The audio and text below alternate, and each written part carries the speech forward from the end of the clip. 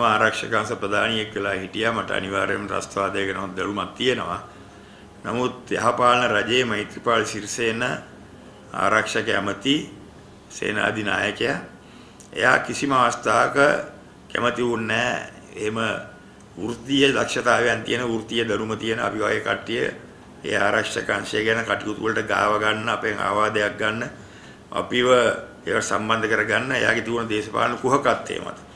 එයා සියලු දත් පුද්ගලයෙක් වගේ ආරක්ෂක අංශ බදාගෙන ඒ වගේ තියෙන වරප්‍රසාද භුක්ති විඳා.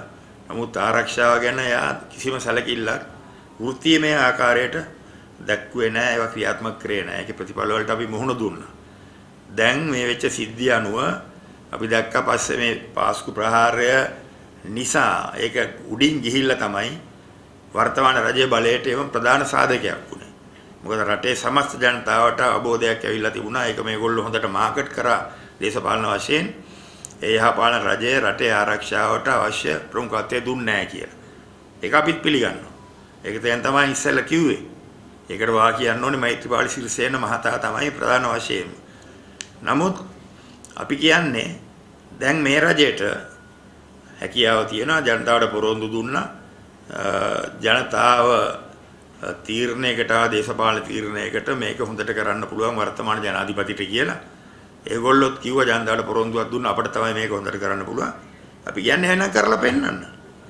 මාත් විශ්වාස කරනවා තාම මහමොළ කරුණ දැල්ලේ ඉන්නවා කියලා. ඒක මගේ පුද්ගලික මතය.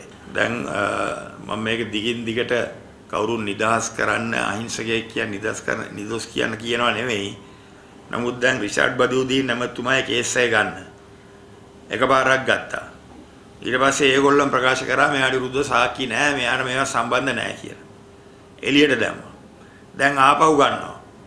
නමුත් මේ කරන දේවල් වල විනිවිද භාවයක් තිබිලා අපටත් තේරෙන්න ඕනේ මෙන්න මේ දේ සිද්ධ වෙලා තියෙනවා මෙයා මේක කරලා තියෙනවා මේ දේ දැන් අර ප්‍රභාකරන් අල්ලනවා වගේ මිනිස්සු අල්ලල්ල ගෙනලා දිග ඩිටෙන්ෂන් ඕඩර්ස් ගහ ගහ දාපු පළියට එතකොට අපිට ප්‍රශ්නයක් තියෙනවා මේ කරන පරීක්ෂණ විනිවිදභාවයකින් වෙනවද? තමුන්නාන්සරත් ඒක වැටහෙන්න ඕනේ. මටත් වැටහෙන්න ඕනේ. පරීක්ෂණ වල විනිවිදභාවයකින් කරනවා නම් එවනම් අපිට ප්‍රශ්නයක් නැහැ. නමුත් විරුද්ධ පක්ෂ දේශපාලනඥයින් අත්අඩංගුවට ගැනීම නිදාස් කිරීම ආපහු දැන් පෝර්ට් සිටි ප්‍රශ්නේ උග්‍ර වේගෙන එනකොට ආපහු කවුරු හරි ගෙනිල්ලා කූඩුවේ දානවා. එවනම් තව එක්කෙනෙක් පස්සේ එලවනවා.